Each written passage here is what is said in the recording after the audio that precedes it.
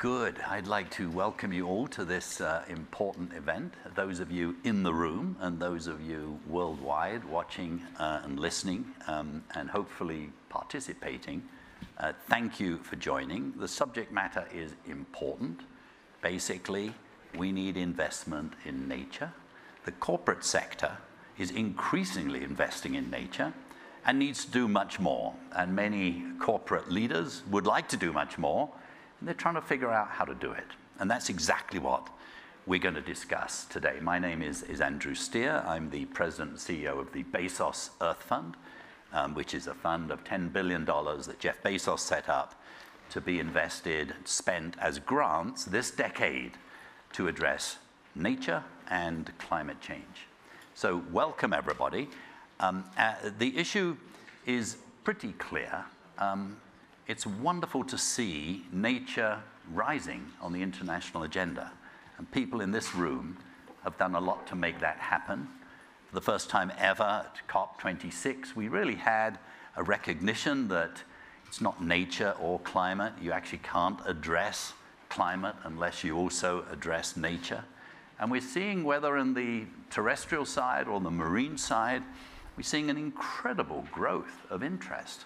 And here in Davos, um, I've been coming here 10 years. I mean, 10 years ago, it would not have been thinkable. There'd be all of the events that are going on. And I would like to give a lot of credit to, to the World Economic Forum, Lindsay and co, wherever you are. Thank you for what you're doing. And now you not only create a sort of space for us to engage with each other, um, but you also are now leading major initiatives, whether it's a trillion trees, whether it's the analytical work you've done, whether it's the accelerator that you're doing or the Friends of Ocean Action.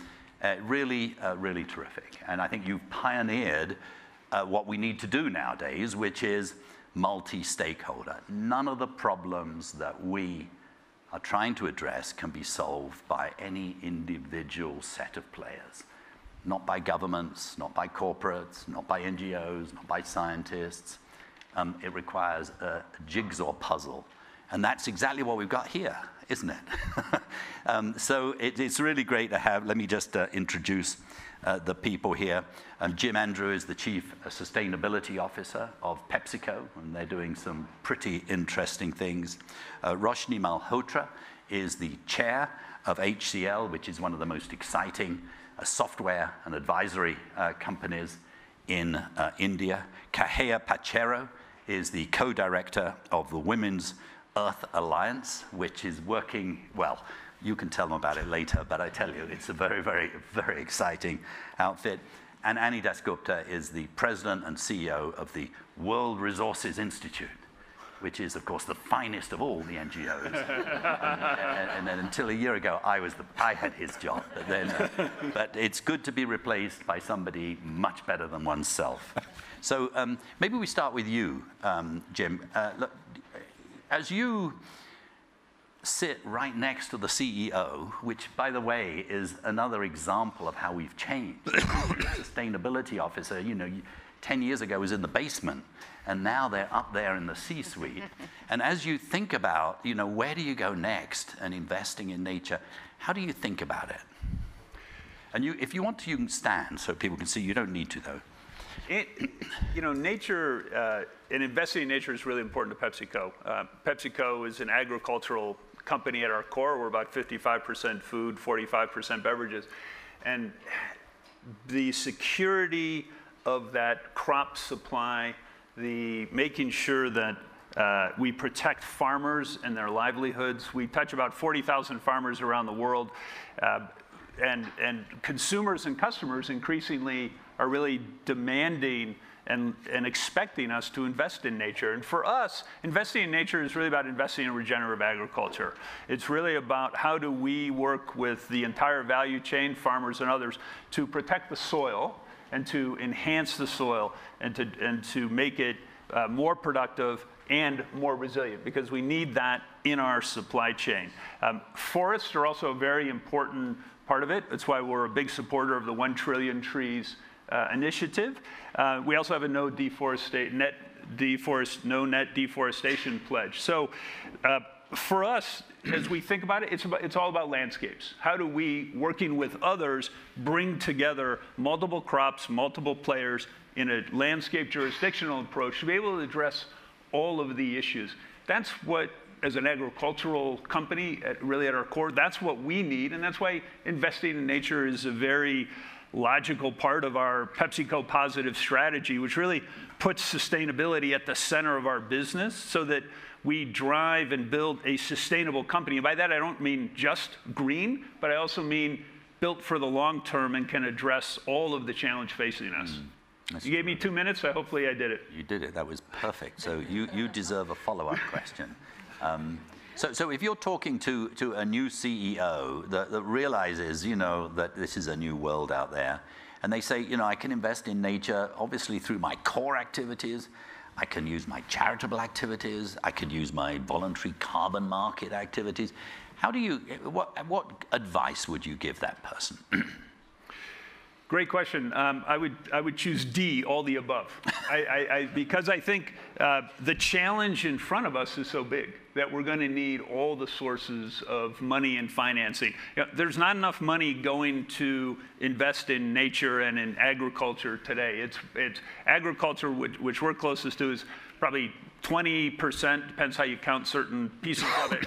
Uh, Ani will be closer to that, but you know, it's probably 20% of greenhouse gas gets about 2% of financing. So we need to, we've had a lot of good discussions already this week on how do we get more money into the sector, but it also takes, uh, it takes uh, technical support, mm. right? There's a lot of people that want to invest in nature and farmers and, and, indigenous people who want to do the right thing. They don't always know what to do. They need the money, they need the technical support, and, some, and sometimes, honestly, they also need social and cultural support. So I would say harness, make it core to your business because if sustainability and investing in nature is over here, you're not going to do it. It's not going to have stay, durability. For us, that's why we put PepsiCo Positive in the center of our business then it's very easy to talk about supply security, uh, increased resilience, better yields, better livelihoods for farmers. Then it's a much easier sell, and we invest in on an ongoing basis. I think you make it core, and then it happens. Terrific. Thank you very much. You mentioned indigenous people, so maybe we go to Kahea. Um, you're based in Hawaii, but you have a worldwide remit working with women, um, and in particular, indigenous people. H- how do you engage with the corporate sector? um, so through our work, we really amplify the grassroots women-led solutions for climate. Um, and we partner with various companies who are mission aligned with ours, who want to make an impact on climate and who believe that grassroots solutions, like we believe that grassroots solutions will really be the thing that moves the needle on, on climate change.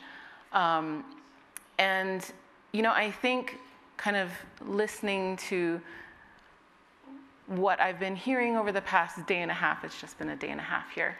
Um, but I think there, I would encourage a mindset shift a bit um, from, from companies um, wanting to, to move the needle on climate.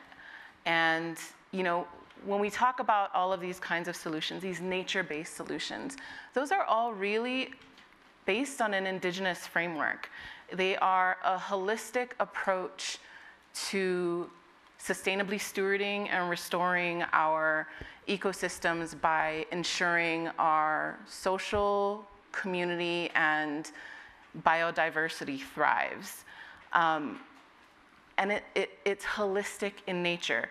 So nature-based solutions, if you take a nature-based solutions approach, um, there's a chance it'll be unsuccessful if you then are repackaging it to protect a bottom line that values profit above everything else.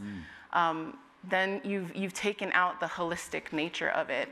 you've stopped, with the way that some nature-based solutions are being implemented um, currently, they're not taking that holistic approach. They are not requiring something like decarbonization. They are not requiring companies who are engaged in nature-based solutions also stop harm that they are causing um, communities and the earth in different places. So I would say that if companies are really looking to engage in finding a pathway forward to ensure that our to ensure life on our planet, we might have to begin fixing what hasn't been working, even if it might make us uncomfortable. And there are companies that are doing that. There are great companies out there that are, are really, truly committed to, to climate, to addressing the climate crisis. Um, but I think there are also companies who are still trying to figure out a way to profit mm. from nature based solutions. And while I think that's possible, profit cannot be the goal here survival has to be the goal. And, and I think that's a pretty worthwhile investment. Well, That's so, so your advice to a CEO that's taking on and wants to is try and see things through the eyes of an indigenous person because it's only if you have that kind of mindset change that you will be doing the right thing. Just a, quick, a brief answer to this. Um, obviously, you are working with some leading corporations. Um, I'm sure some of them here are included among those. But also, I'm sure you take a pretty strong line of criticism against some that do it wrong. Is that right? We do. that was, that was my short answer. we do. okay, thank you. Um, Roshni, um, you're chair of a, a major uh, company. You do a lot of interesting things. What advice would you give to a company that wants to engage in nature? The one thing that I think corporates have done very well in their own industries over the last many decades is invest in their people. So whether it's been, uh, you know, I represent um, the tech industry in India. India is um, 17% of the world's population, and the tech industry is the largest uh, employer of um, you know, white collar jobs in our country and many, many million. For every 100 jobs that a young um, you know, graduate is aspiring to work in tech industry, maybe there is less than a handful of people who are aspiring for a career in nature. So my, um, you know, my thought is, and what we do at HCL, but what corporates can really do, is invest in people in nature. Mm. So, you know, there's been much uh, debate at the World Economic Forum for, again, many years, even, uh, you know, during this time, which is what are the future skills in tech? What are the future skills in sustainability? But what are the future skills in nature? And I think that uh, that is a space which is empty. Um, you know, um, if we look at uh, people working in nature, uh, as uh, the work here does, most of these people who have the indigenous knowledge are the people also who are most vulnerable to the changes which are taking place in nature. So when you think about nature-based solutions, can they see themselves as part of improving their ecosystems and then the larger ecosystems of you know the urban cities we live in but they are the they are the people who hold the knowledge mm. so much like we as corporates have done for skills for varied number of industries. What is it that we can do for skills in nature? And how do we scale that very fast and very vast so that the impact can be much broader?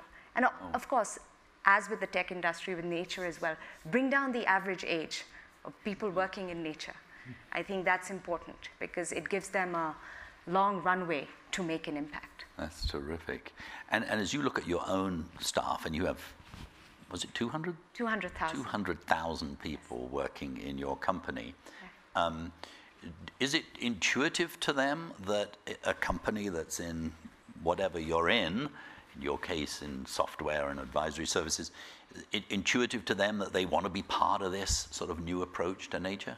so I think it's about creating that ecosystem within the organization. So, you know, as uh, we do um, about 2 million hours of training a quarter, mm-hmm. upskilling with the new tech skills. But how do you actually provide, let's say, even an it's at least for us at HCL, we have the HCL Technologies Academy, which has skills for nature. You know, people wanting to uh, make an impact in uh, their own societies where they live. Or now everybody's working from home, so they've moved back to tier two and tier three cities, which is much closer to being more in rural India, where the impact of nature is that much more felt. And they will often ask questions like, So how can I make an impact? Give me the skills. Yeah. And then, you know, so it's a bit of a push and a bit of a pull. And, but I think that all corporates are such uh, large employers of young people that their ability to, um, you know, pivot their minds and really uh, move them and shift them in that direction is much more easier to do. Oh, that is really great to hear. Um, by the way, after we hear Ani Dasgupta uh, answer the questions, um, we're going to open up.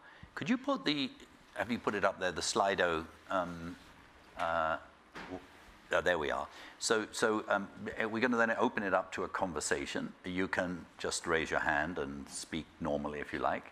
But this is 2022, so uh, the alternative is you get out your phone, um, especially if you're not here in this room, those that are online, um, go to slido.com um, and, uh, well, you know what to do.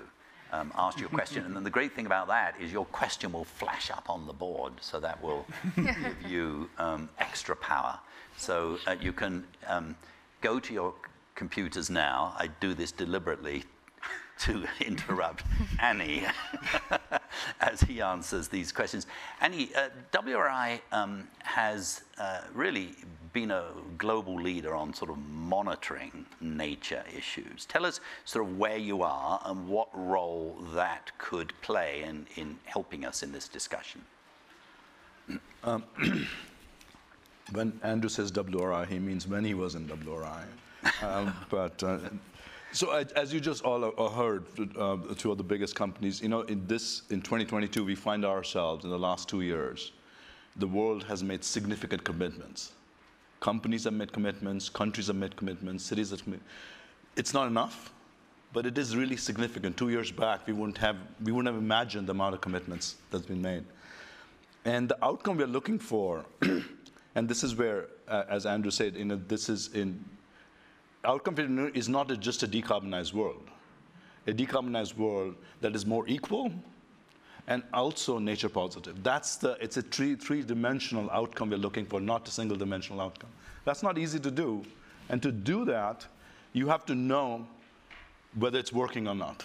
Because we have to invent the way to go forward. This is where monitoring comes in, or what we are doing. The reason I'm saying this, I want to highlight that what monitoring allows you to do is not only to track, so Pepsi can track any biological asset that goes through, but it's also to experiment and know what is working and what is not. Because we haven't figured out how to decarbonize, make the world equal, and be nature positive at the same time. This is because we don't have a chance to do this once at a time. We have to do these three things together. I think what WRI has been focused on is actually a partnership with Bezos Earth Fund, which has been which is the most exciting thing, building on our Global Forest Watch, which which could and can actually monitor forests all over the world. But now with this new thing that we're working with Google and many other partners, depend on multiple satellites, is be able to monitor 100, uh, 10 square meters, which is much, much smaller than this room, anywhere on anything green, any biological asset, which is it's a forest, which is a tree, which is a grassland, which is a crop, which is a mangrove, uh, and know what's happening to it over time. And why that is important, that allows not only tracking, but it allows us to make long-term contracts on biological assets. So if you invested in restoration, you would know that tree is growing or not. This, this is cutting edge science. We are actually building it right now. And this, I think, would allow us, and everything WRI does is, is a public good. It'll allow not only us, everyone else in the world, to build apps on top of it to suit their purpose of what could they, they need to do. I was just telling Andrew before this meeting, earlier this morning, some of us, actually some of us are in this room, we're in a really fascinating conversation of carbon markets, Andrew. So another source of financing towards nature, right? And it became clear to me how standards are needed there, because there are multiple things, and how a monitoring platform like this um, could actually help creating the you know, standard transaction. I do want to say that the data itself can't do, it's, it's just the beginning. Our, our goal in WRI is not to just produce data, it's to help make better decisions. And data with community action, making data available to communities and government business to take decisions, that is the outcome we're looking for. Um, so there is lots going on, Andrew, and a lot of innovation in this space. And this, we talk about public-private partnership, and we always talk about money, but technological partnership has been fascinating, actually, what's going on. That's terrific. And just say a word, because um, you now, I mean, for some years you've been able to see literally almost every tree when it falls. Almost, not quite. It's, it's 10 meters by 10 meters, so you can. Um, but now you're going to be able to see also trees regrowing. You're that- also going to be able to see, is that right, crops changing. And the important thing is, due to a whole bunch of AI and, and if you like, triangulation with drones and so on, you're going to be able to figure out how much carbon is embedded in that. Is that right? How does that work?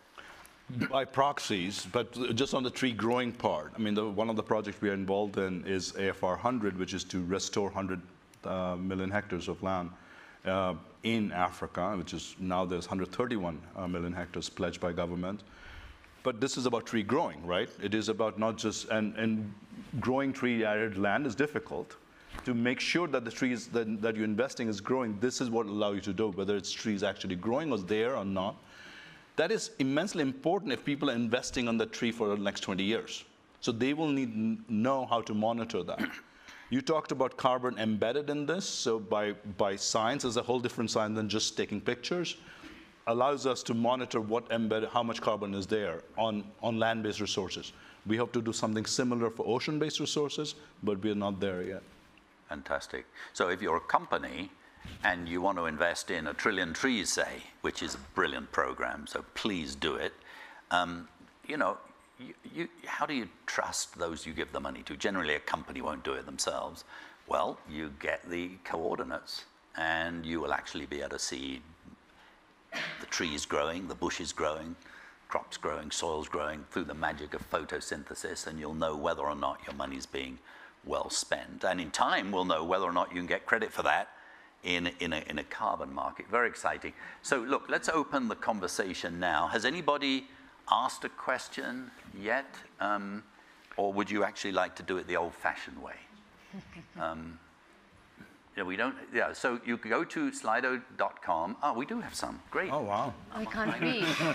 So I'm, I'm, allowed to can't pick, read. I'm allowed to pick these. I don't know if you can read that. There's another screen there. So, um, so uh, Kahea, what should companies stop doing and what should they start doing? They should stop.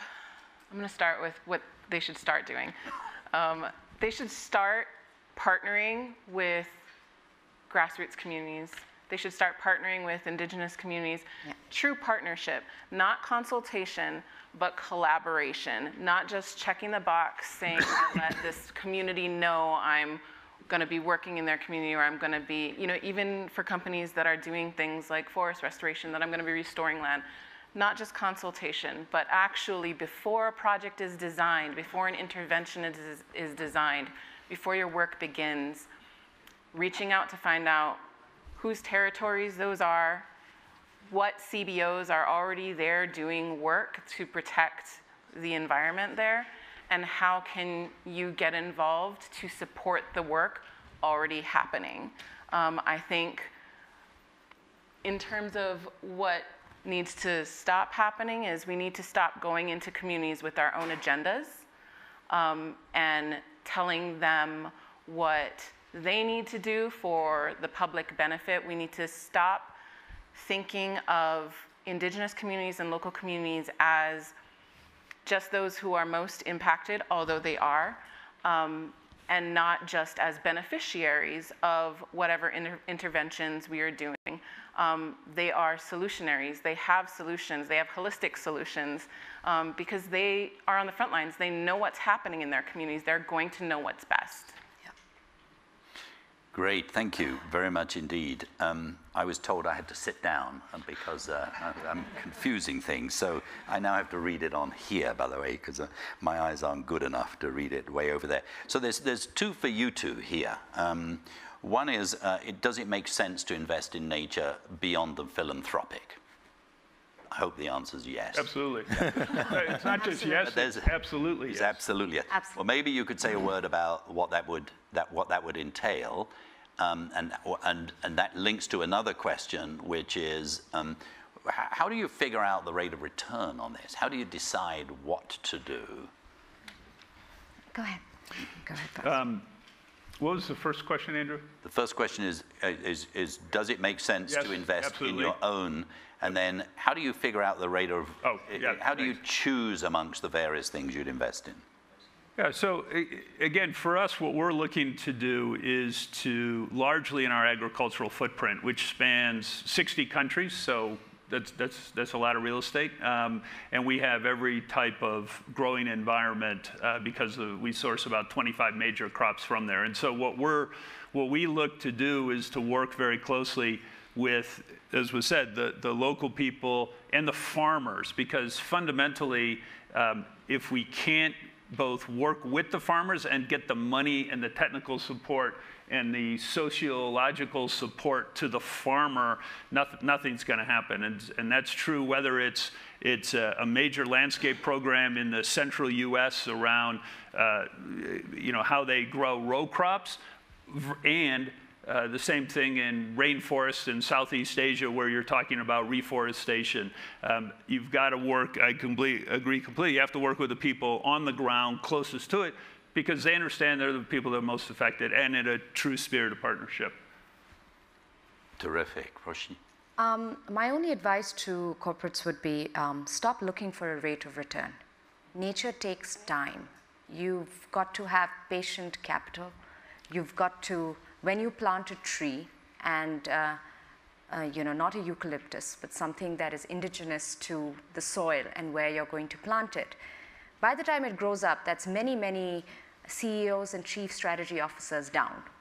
So I think that it's extremely important that if you are going to invest in nature and truly be honest about it, stop looking for a rate of return. And that's why, um, you know, I believe that if we can invest in our own people to become a lot more knowledgeable, um, you know, for example, all the data that's going to come out from WRI, you know, can, can we um, excite young people to actually analyze it, study it, um, take out inferences which really will impact and make a positive, uh, um, you know, change in their environment. So I think um, um, investing in people, allowing for patient capital, allowing for nature to take time is very important. So there is an aspect of it which is philanthropic. Uh, there is an aspect of it which is, of course, CSR, uh, but also investment in just your own people. Wow. And uh, the average age in all companies is decreasing with time. I think you know uh, younger people today are much more conscientious about climate. They're asking those questions from all of us in this room. So I think that we owe it to them to invest in them as well, to ask the right questions, and then to do the right thing. Beautiful. Beautiful. Andrew, can I just jump in Yeah. real, quick, real quick? I, I do, um, I think that as we have looked, and I, I speak for PepsiCo, as we have looked, we have found uh, more and more places where there actually is a very positive rate of return. Um, and so that, that makes it much easier to get the entire business aligned behind it. Now, we, we have to be creative about how we think about it. We have to bring you know, an understanding of better understanding of what's really going on in the world. What is the risk to our ecosystem? If we don't have crops, we can't make food. If, if as we better understand those things around wa- water, climate, and so on, the ability to generate risk-reducing uh, and in some cases just flat-out positive return is more and more possible, and we find it more and more places, which makes it much easier to get the businesses behind it. And so I would- I would just appeal to everybody. There's probably more there than you think, uh, and more places if you once you really start to look at it to find actually quite attractive rates of return, which also help nature. To make them successful, you got to work with the farmers and the local people to really drive that benefit. So Great, thank you. Ani, I know you want to answer this question, but let me ask you another question, which is um, how do you avoid corporate investments um, for nature being misused for greenwashing? Oh, I was. I wanted to answer that question. Um, I, I also want to very much um, second what you said about ROI. That we have to reinvent what return of investment is, because ultimately, you know, we need leadership from the corporate sector. $65 trillion of the world's GDP is corporate sector, business sector, not corporate, they're small. And if they don't shift, because this market itself won't take care of it. There's some hitches here that leadership is needed. Um, I very much want to answer the question on greenwashing, uh, which is connected to this. It is that there is a serious issue of credibility of these commitments because there are companies who are saying the right thing and doing the right thing. Two of them are here. The companies that are saying the right thing but not doing the right thing, and you absolutely want to differentiate between the two. Otherwise, the whole movement, all the work that all of us are doing, will be seen as not credible. So it is very important that credibility is something we look at. And credibility from WRI's perspective and in, companies' perspective has three things. One is you actually commit to take action yourself as a company. You decarbonize. Don't buy uh, carbon or carbon market just to offset your, because there's not enough offset out there in the world if you just continue to uh, you know, throw uh, emissions in the world. That's number one. Second, have a plan.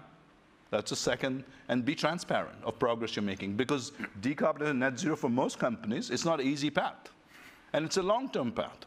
So the answer to the question, I think we should be all be aware of the word greenwashing because remember, right now, consumers are going to ask for greener companies, so there'll be a lot more companies that want to be green and not do the hard work.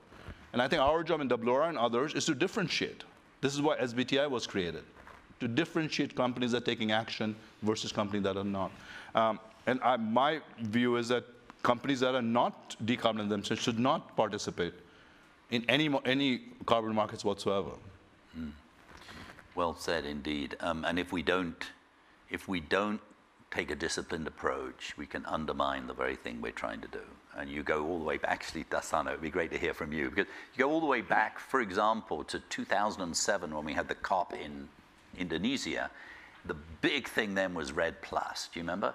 And, and, and a way we lost a decade probably um, because because of, of, low quality and the lack of that. Dasana, you're one of the leading investors in that. Do you want to say a word? uh,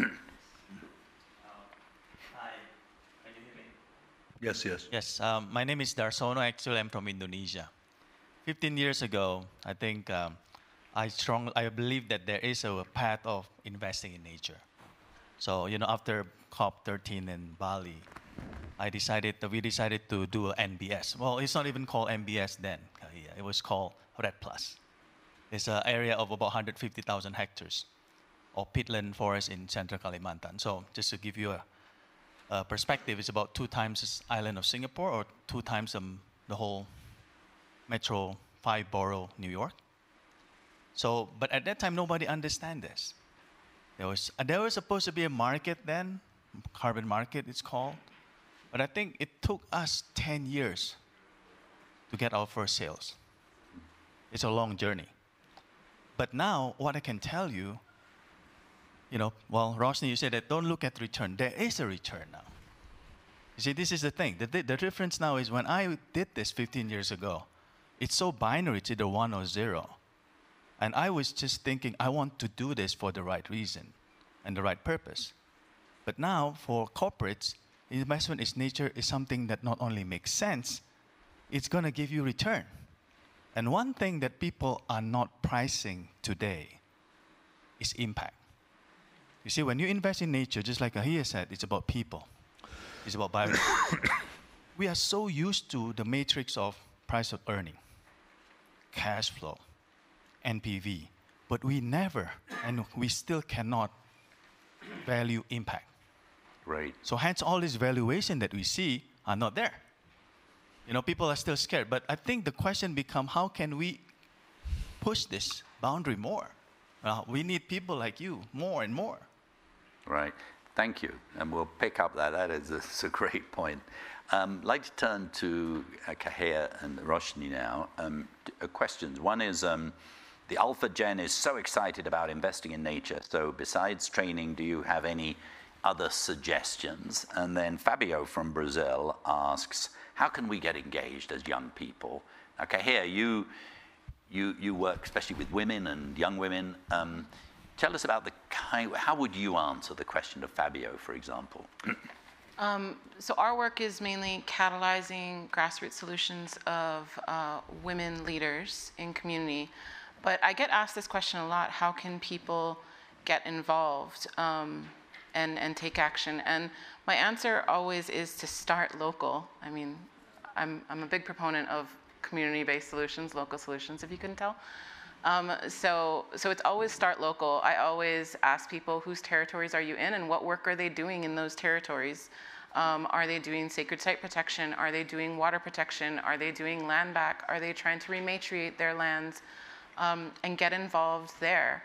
And if that's not appealing to you, then what what is your passion area? What is the fire inside of you that is telling you that things can and need to be done differently if we are going to survive? And move towards that passion. Whatever it is, whatever, even if you think it's small, every action someone can take, if, if all of us took action, no matter how small our individual actions would take, uh, would be, that would be a global movement of people taking action for climate change. That is different for companies because they are much larger actor, actors. I think they can take much larger scale action, but, um, but just to answer his question on an individual basis. Thank you. Roshni, thank you very much. Um, I think for um, the generation Alpha, which is um, quite restless as well, spends uh, a little more time on social media than um, you know, to become involved in nature is get away from the screen. Um, you know, um, I think where corporates can help beyond just skilling is also um, funding, entrepreneurship. Uh, let's say you have an idea, you want to look at nature based solutions or you want to look at tech based solutions, but you want to create um, a lab in which you want to work. You know, you want to um, involve um, more young professionals to get into that space. So again, I think uh, because of the way corporates are built, you have the ability to give patient capital. You have the ability to give them access to be able to work in uh, the area that they're interested in. So, um, you know, one part is, of course, the skills. The other is how can we even uh, generate more entrepreneurship uh, um, in uh, nature? And uh, I mean, I just reflect from India over the last two years of COVID, we had more than $40 billion come in for, for VC funding of startups. More than 40 unicorns were born, and not one was from nature. So it just makes you think that at least for the generation today, if they have an idea and it's an entrepreneur, it's an entrepreneurial venture and it's in nature, of course the definition of um, return on investment, the definition of risk appetite, a lot of that will have to change and that mindset will have to change. But I think that corporates can certainly encourage that piece of puzzle as well. Beautiful. Um, here's a broad spiritual question for you all. Where, where are the other species on this panel? Um, we are tending to focus on the anthropogenic, aren't we? You know, um, and, and how do we capture the intrinsic value of nature in what we do? I bet, Kahir, you'd be the first to address this. I'm curious about that, that phrasing. How do we capture the intrinsic value of nature? For me, that The word capture was probably for me, that's not the it's- question. That was it's not about mistake. capturing. nature has value, whether or not we see it. Um, nature has value because our existence is proof of nature's value. Without nature, we could not exist. And I think we just we need to understand that and and make moves to preserve that because everything between people and nature is connected. Anything that happens to the earth happens to us and happens to our bodies. And as women in particular, anything that happens to earth really happens to our bodies and is reflected in the health and the safety of our bodies. And so I think for me, that's, that's part of the intrinsic value of nature is just seeing it as a mirror for ourselves. Yeah. Well said. Uh, Ani? I'll try to take a non-spiritual um, angle to it. You know, I, I think Andrew, the the biggest scientific development that has taken place since Paris has been the, the correlation with nature and climate, and actually biodiversity and climate. We didn't in Paris. There wasn't any discussion on biodiversity. the idea that we as a species actually coexist with many other species is not human first, which is the question actually. And that is scientifically now shown that there is no way for us to survive and, and keep the world at 1.5 degrees if we don't protect nature and the diverse set of species. So I think the science is catching up, not as much ahead in the spiritual, because that is what the science is telling us right now, that there is this, this world, the humans won't survive. Actually, the other species most probably will.